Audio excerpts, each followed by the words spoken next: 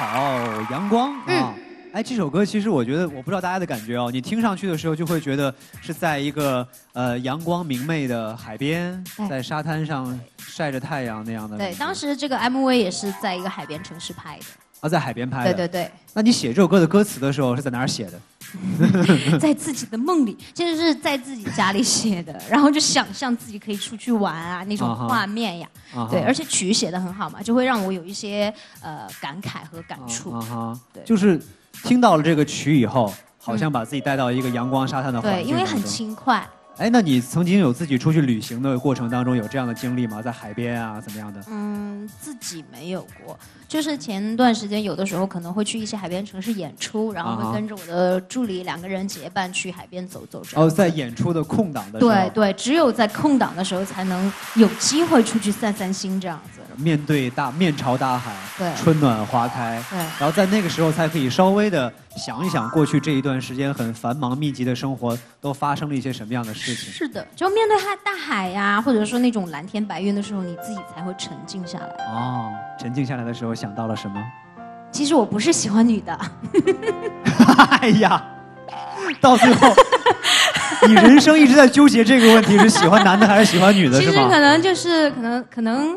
最近的工作可能是太繁忙了，就是个人很少去考考虑到个人感感情的问题。然后性向开始发生了转变。其实没有吧？也没，好像没有吧？好像不是这样的哈。好像不是吧？最好不是你，最好真的我怕自己找不到另一半呢。我我是怕你今天节目结束以后去后台，你经纪人助理都都走了，走光了，就是，没想到你好这口。我犯错误了。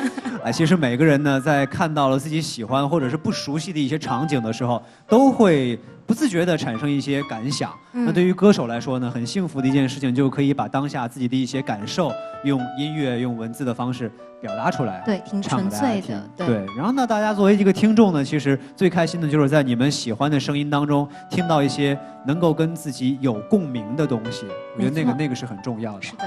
那我觉得今天我们要跟毛泽少聊他这个人生的一些过往。那各位当然是通过《中国好声音》这样的一个节目跟舞台，非常的了解他。那我觉得今天不妨跟大家往前聊一聊，好不好？就是你在站到那个非常受关注的舞台之前，嗯，在生活当中，你的主要的生活内容是什么？呃，那个时候其实大部分时间也是在唱歌。唱歌，对，就是希望自己可以有一个能够让自己去展示自己会唱歌呀，或者说想去给别人唱歌的那种时候，寻找表演的机会。对，那个时候更多的是一些什么样的场合？呃，比如说在录音棚录 demo，或者是有去 club 里面有驻唱。啊哈。对，然后我还有做过音乐节的合音伴唱。哦，合音天使这样的。对，就是在，就是只是一个初级阶段，我也是在学习中，希望自己可能多方面的有一些积累吧，所以也去多尝试了一些东西。其实这些都是很好的锻炼吧，我觉得。对对对对，现在来看是一种财富。啊哈。那个时候其实稍微有一点点迷茫的。可能比如像唱 demo 这个东西，就特别简单，就是可能这个歌它本身呢是要让别的歌手来唱的，但是可能作为一个作词者或者作曲者不能够。就把简谱发给人家，让人家来看，而是会找一个比较有表现力的声音，用一种比较呃初级的方式，嗯，把这首歌给他唱出来。嗯，哎，你当时还记得曾经唱过什么样 demo，然后被其他人选用到？我后期就都不太知道了，但是。其实当时心里头也在想，哎呀，这是唱的别人的歌，唱完以后是给别人听的，然后是给别的歌手唱，然后自己在想什么时候自己才可以有自己的作品。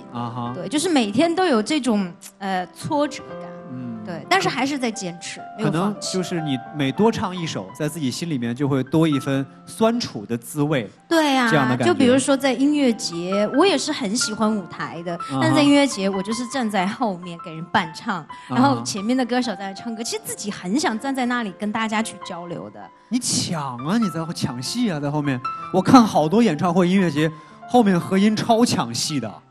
真的，就前面，比如说是一个气质特别沉静的歌手，嗯，比如朴树吧，嗯，那片笑声让我想起我的那些花儿后面呢？后面那个伴唱，呜啊，呜，come on 啊，呜，就我早认识你好了，我早出来了。一般一般合音不都是就是三个人站成一排吗？我们先右边哈，预备，不吧不吧不吧啦吧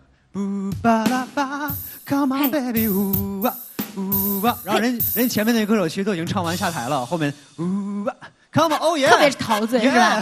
对，就加班也不给钱，也不下去那种感觉。但是我特别的能够理解他们，因为就是想要有一个舞台，自己可以唱歌，对，就就满足了嘛，对吧？很简单的。那恭喜你啊！嗯，后来不就到了中国好歌曲，然后什么好歌曲，中国好声音，都都一个公司做的。对。然后就有一位伯乐吧，算是，算是对你有知遇之恩了。真的是这样。他就是那英老师。娜姐，嗯，娜姐后来就是转，我差点说翻了你牌子，她她转过身来以后，嗯，就是你就加入她战队了嘛，对，然后下来到底是就是我们电视上会看到一些导师辅导学员的一些过程，嗯，但那就太简短了，嗯，他到底是一个什么样的导师在辅导你们的时候？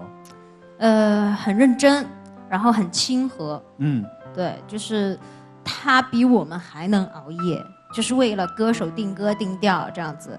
然后很负责任，对。而且你们是管好自己就好了。嗯。他是要一次要面对那么多学员。他七组吧，七个人。七组还是八组，忘记了。就真的一个一个一个弄这样的。嗯，对，一对一对这样进来，然后就是给给彼此分句啊，然后定 key 呀，对，就这样。就是他会真的会很有很投入的，很希望他的这一队的学员可以获得好成绩。是的，因为他希望他自己给这一组学员选的歌，最后可以能够。给大家呈现出一个很好的一个状态，状态，对，他会跟你们有一种荣辱与共的感觉。没错，就是有的时候，比如说彩排的时候，你哪里唱的不好，他会着急的，对，然后一遍一遍彩排，之后他觉得嗯还行，OK 了，你们两个可以上去了，下一对。哎，那我们坊间都说娜姐是一个特别豪爽的人，对，特别爱聊大天儿，嗯，然后你们在整个排练的过程当中，有有百分之几的时间是在聊天儿？嗯。可能没有太多时间聊天，那段时间就特别忙，连睡眠的时间都没有。经常就是穿着一个长的长衫，然后比如说长衫，对我经常会穿一件长的外套，然后就是因为还要带一个靠枕，就是因为可能我们很早一一批学员都要在那里候着等着，然后可能你你去了以后你是第七组，前面有六组选手要彩排，你就在那里睡。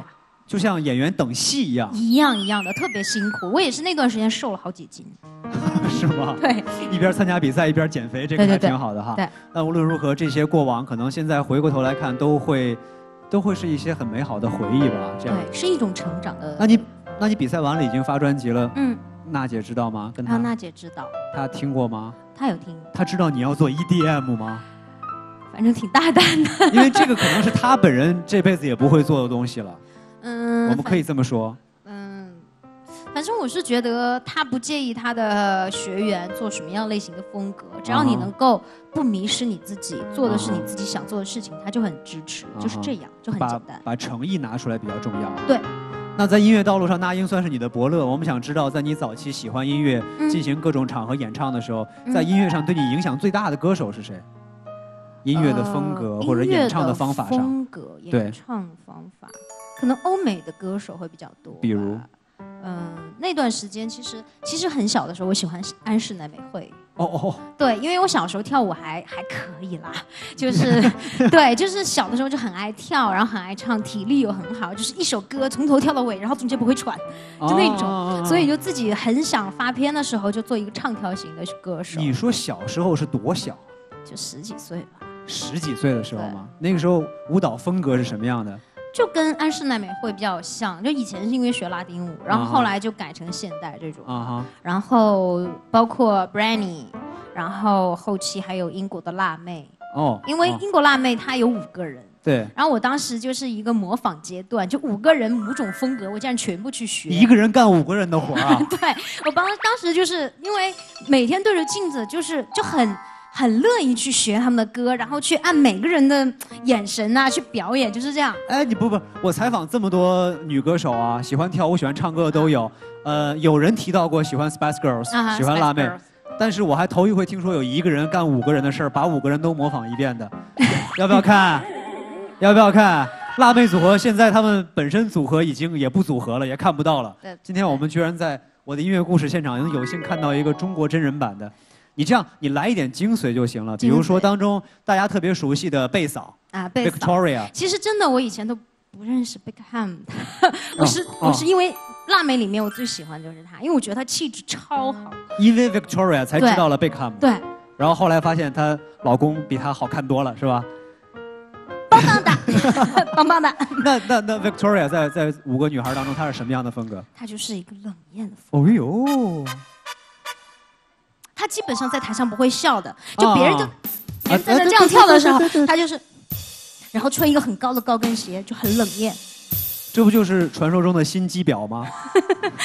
他还挺真，挺有心机的是吧？